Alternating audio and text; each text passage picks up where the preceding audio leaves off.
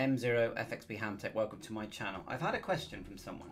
Can you set up a Heltec version 3 from scratch? And I happen to have one here that's just come through the post and it's actually version 3.1 so I'm quite pleased about that because I thought it was version 3. It's the latest model and also some new firmware has been released as well called version 2.30 and so we're going to load that onto it. So let's just do it. Now remember, I'm learning, you know, before people jump in and go, you don't know what you're doing, and I and I will say, yes, I don't know what I'm doing. I'm learning. Please don't start messaging me.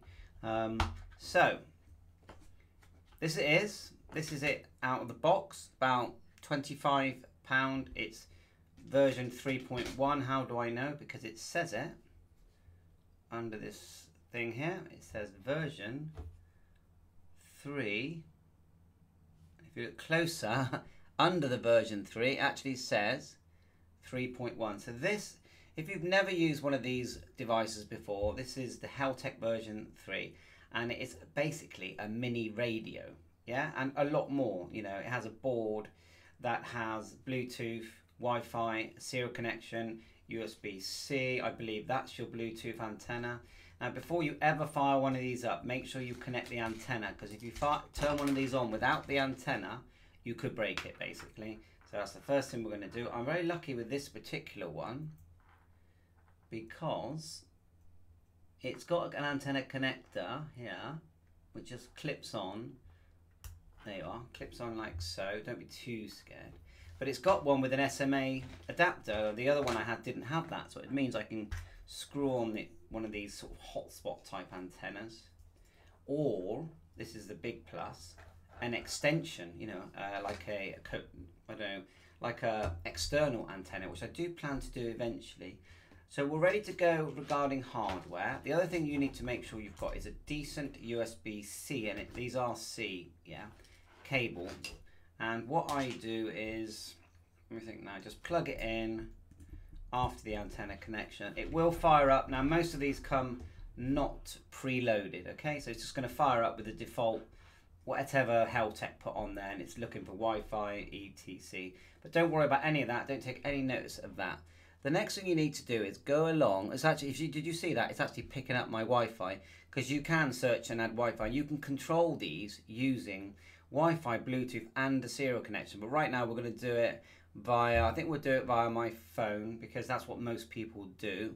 So the first thing we'll show you is the flashing software, which is this link here on the left, and you'll see that it's completely been thought through to make your life a lot easier and my life as well. Let's move that over. So first thing to do is select your target. Now, I just finish off by saying that when I say these little, little, little mini radios, um, with a, in, in England it's an 868 megahertz frequency that you would buy. They basically are sending 868 megahertz, uh, you know, messages via radio directly.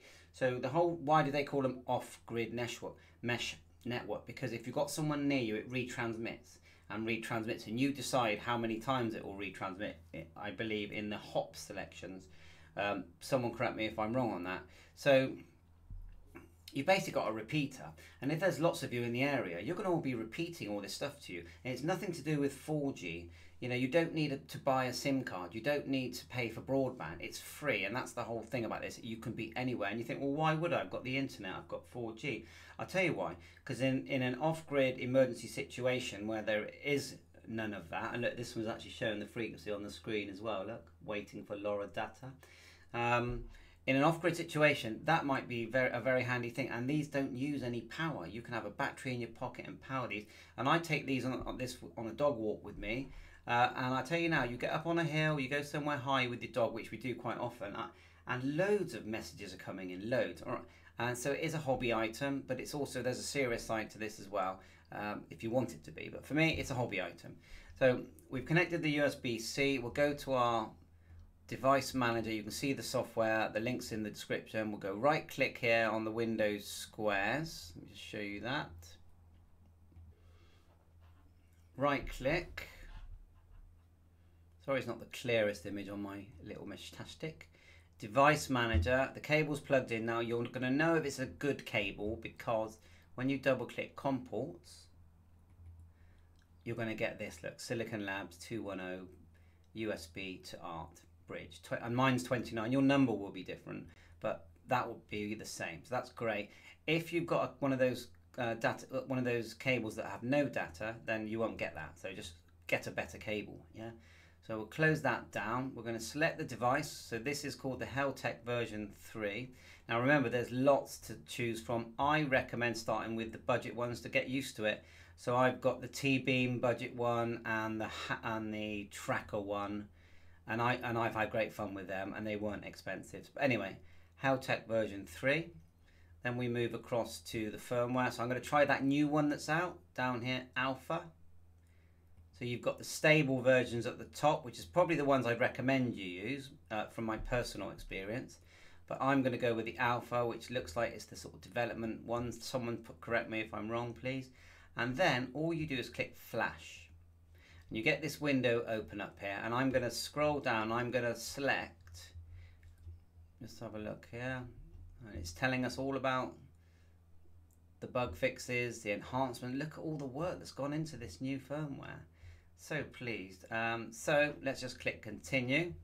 And I'm going to do full erase here. It's up to you if you want to do that. I Most will do that. You don't have to touch the, the what do you call it? Um, erase, flash and install. You don't have to touch that. So let's just go, right, where are we? Sorry, I'm getting confused now. Let's just do that again. Sorry, because my phone went off and it put me off. Erase, flash and install. Then you find the COM port that was 29 that we saw earlier. 29 connect. And it just does it. Then we're going to grab our phone, which you'll see in a, in a minute. Download the Meshtastic app. Just go to the Play Store or if you're on iPhone, you can go there. I'll just pause while this is doing it because it does take you know, about four minutes, I would say. You can see the screen goes black, it still flashes. Of course, don't disconnect the cable, but I don't think you have to worry about bricking these items. My experience is if it goes wrong, you just flash it again.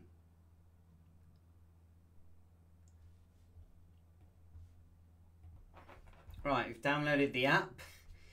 We're ready for the completion. Getting close. When the app finishes, it will probably automatically try and pair. Swipe down and just go to your Bluetooth and just make sure you've enabled your, you know, turned on your Bluetooth. Right, we're at 100%. Now we could add a battery. They do come with a connector. We haven't done it in this case, but you can see straight away it says Meshtastic. Buy yourself a little 3.7 volt battery. I'll put links in the description. Solder it to the plus and the minus, okay? And just plug it in there. Job done. Get yourself a little case, you know, and it will last for hours, honestly. So, um, it's loaded up. Now we need to try and add it to our Bluetooth. Let's just swipe down and get our phone doing that. So you go pair new device and it will be there. That's the one. Now I've got several devices. You compare more than more than one at a time. Okay, and then we're just going to go. Oh, I'll just set that and just click OK. Why is it not? Oh, we need the the number here. Sorry, so we got to put in eight one one, and it changes every time. But I think you can set it not to do that.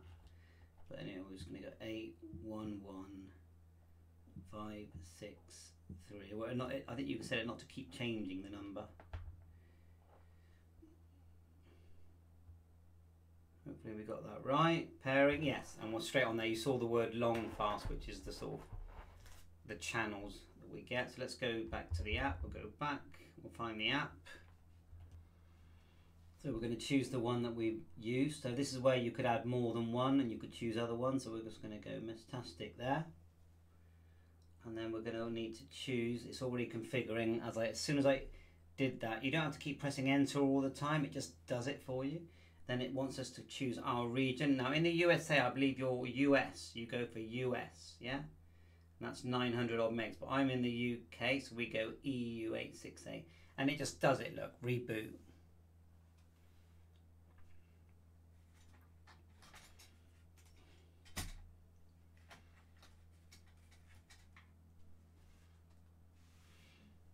So already, it's usable already. Yeah, it knows I'm called this. It's configured the module. It's put me straight on long fast one. So you're set up already. All right, inside this room, you're not going to get much on this antenna sat inside this room, which has got thick brick walls around it. But I'll tell you now, the second you go upstairs, stick it out your window. Hopefully, you'll get some messages. So let's just go through this like we know nothing. We're not going to change any settings here in the regions. We've done that. We'll do the first one, and these are messages. And look at let's look at the time. Um, it's now 10:28, so nothing is, is coming at all yet. Peers. If you wait, I've noticed that um, here is when you'll start to. If I put it out the window, we'll start to get you know some messages come through. And I've been watching Lewis Ringway's thing, and there's a lot of settings that he's recommended so we don't hog the network. Luckily for us, I'm not too busy now. I believe he said that 59%, yeah, is means it's not as busy as say 99%. So um, with the, there's a whole new thing of learning to this called MQTT, where you link to a server, which is you know effectively not really off grid, and then you can download lots of things and see what's going on. But it's it, you know don't I would say that's not a recommended thing that you do too often. We'll hit the flag. There's your map. So if you can find myself on this map. So there's my area. I'm not, it's not showing anything at the moment. And go here. I noticed that before. Not used that. Someone tell me why we use that. But there's a long fast channel.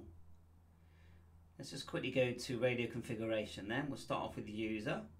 Each time you select something, it talks, yeah? So that's me, what I am. We'll go back with the back arrow. And we'll go to channels. And here's my channel. And it's, it's here, I believe, we can start sending messages. The upload download link, I believe, is more to do with the MQTT. View device. I always enable serial port. It means you can connect it to the PC via a USB cable. I don't really touch anything else. Position. Now, we, I have got a GPS module, believe it or not, I just need to connect it. I think that'll be my next video just for fun. But it looks like, let's see if I can grab it out of my box here, like this. Uh, you do need, because the Heltec version 3 doesn't come with this, I don't know, the hardware you need to connect that we have to use this device, which is a, let's get it the right, right way around. Oh, it's hard to read. Can you read that? GY GPS uh, 6M, I think it is. I think that's what it's called, it's 6M. They're not expensive, they're about a fiver.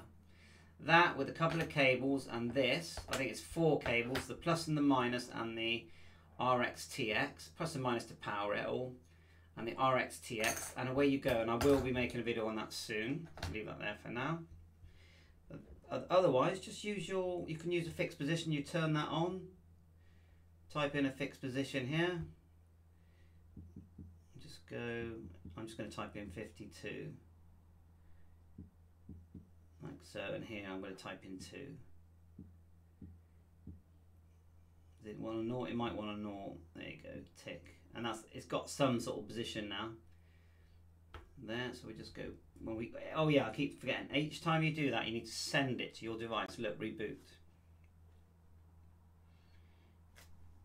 close we can get that a bit brighter I think okay go back one let's keep looking at these settings might is it letting me set now? It might need to take a bit longer. There you are. There's a bit of a reboot time. Position power. Power saving. I don't think I ever touched that. Display. Have I ever I don't think I've ever touched that. Go back. LoRa is. You keep seeing the word LoRa. LoRa is the radio part because these, and there's different types of units, they have a, a radio board built into them. Some are more obvious than others. I've got this one here, which is called, pretty sure it's a LilyGO T-beam. Even I forget, there's so many. There's a very obvious radio board and GPS board on these items. There's, I think that's the GPS there. Has my soldering come off? It looks like I might have to resolder that, I don't know. Doesn't feel very tight. Anyway, it's got a battery and works great. I love this one because you really feel like you've got something. You've got buttons here and you have buttons on the Heltec unit as well. I'll show you them next once we've finished looking at the app. The PC interface is very similar. So there's your MQTT, which is not enabled. So when you enable to that, you join the MQTT server and you go to your channel and you click upload and download whatever. And then what happens is, sorry about my glare on my camera. Hello. Um, you know, I, mean, I just get stuck in and dive into these things. Even I am, um, you know, don't really know what I'm doing. uh, serial, then you've got all these other things. So, reboot, shut down, factory reset. So that's up and running. If you want to send a message, go to your long fast. Go to the bottom and go, let's just go high. And don't send loads of messages because it does take a while. Um, sometimes if it's busy to get through. Now I've sent that. I just want to get rid of the keyboard now. Somehow, come on, get rid of the keyboard. Right, go back. Oh look, I'm now showing up on this map. Of course, I put a position in, so I'm probably in the middle of the ocean. Um, but that's, see what I did mean? Because I put the position in, I'm now showing up. Back to messages. I sent a hi. See, there's a, a, a cross there through the you know, cloud. I would say that means, and someone please correct me, it didn't get through. Okay, it didn't get through. When there's no, when there's a tick there, it gets through. But look, come on, who am I going to? I communicate with myself. I could try it with this other node I've got here. I definitely recommend you need at least two to properly play with this. Um, so let's just send the hi again and see if that comes through. Actually, I'll type Hamtech. Just click send. There it is there, Hamtech. You might think, oh, big deal, you sent the word Hamtech from here to here, but don't forget, these are travelling for miles. I go upstairs and mine are going to Bristol, no problem. Unless there's no internet, you know, no broadband, no, it's a free service. There's my little battery there, that's the battery you should get. That's a good one, that is. That's better than the battery in my little Midland CB mic. I might swap it, I don't need this Midland CB mic has got a 1000 milliamp hour battery, same voltage. That's a 2000. I'm gonna have a look, see if it'll fit, and then just swap them. But yeah, you can see that on this one I've got the case. The case just clips off the front here. Um, cool. It's quite get off there. Yeah. So cool. I can't get it off. Did I glue it on or something? But you got the button, see the buttons, you flick through the different items with the top button and then reset with the bottom. So if we look here, and let's, uh, let's just start pushing the top button. And we should just scroll through. So joined Meshtastic, GPS not present. And the good thing is when you do switch these to Wi-Fi, they show you your, your IP address. So you can just put your IP address once you've switched, and I'll show you how to switch, and um, and go to your computer and talk to it. And you don't have to hold this fiddly little item. So keep going through. Yeah, we're not getting much information because we haven't received much of it. But if I go upstairs, we will, and I know we will 100%. These work great. So just quickly regarding the settings, see if we can find the Wi-Fi. So we'll go back with the arrow. What's this one here? There's Oh, that was the message. See, that says that it did go through.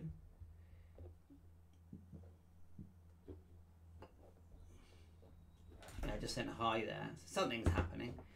Um, we'll go back to three dots, radio. I'm going to look for network. So at the moment, it's just oh, by default, it's using Bluetooth. Okay, but we can turn on Wi-Fi. Now, what you do is when you turn it on in these two bits here, you put in the username and password of your router at home and then enable go to the bottom and send and then it will instead of it coming back instead of it working like this maybe I'll just do it because I am waffling uh, let's go network we're going to lose connection with Bluetooth we're going to turn it on but what I'm going to do is put in my SSD and click send and then we'll quickly flick over to the PC and see if we can uh, just quickly control it via Wi-Fi and you'll see what I'm on about so username, password in, scroll up, send, and it's now going to flick it over. And when it reboots, we're going to have an IP address. We'll put that into my unit. I mean, how cool is that for a 20 quid item? Get this glary torch out of my face. um, okay, give me an IP address. Let's try pushing these buttons. You could download I advanced IP scanner. Probably have to wait a minute for it to log in, you know, to find my router and connect, as long as I got the password right. I bet you I just got to reboot. So let's unplug it and reboot. And they reboot fast. Let's try again.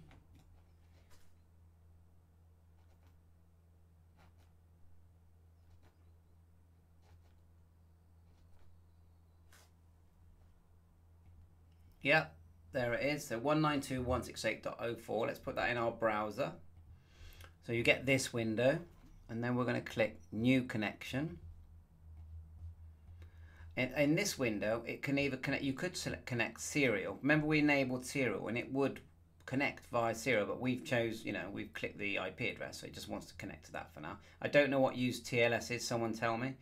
Um, so now we're just going to click connect. And everything we were seeing on our device, we're going to now see here. So the device is at the top. Now the peers is, is the one I messaged, my other device. Okay, I could turn that back on actually. I turned it off for a bit. Let's turn it back on.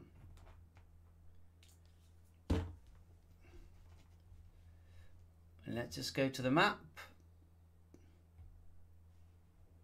And there I am. Middle of nowhere probably. Yeah. Middle of the ocean. That's because I just put a rough address in, but it's there. You know, at the end of the day, it's there. It's on the Meshtastic system. It knows I'm there. Messages, I'll send another hi. Like so. And that's gone from me to my other unit. I should have put it so you could see it, but it says hi. Okay. If I wanted to, I could go back, control this unit, which I wonder if it's like via, I got it on Wi-Fi or Bluetooth. I'm not seeing Wi-Fi, so I'd say it's on Bluetooth. So what I'd have to do is go into my app. I think that's enough for this video. You, you know, I just wanted to do a, and you know, anyone can use Meshtastic. It's not a hard system to use. It's actually very easy, but like anything, you have to learn it. There's a bit of learning, and I'm hoping that this has helped you learn.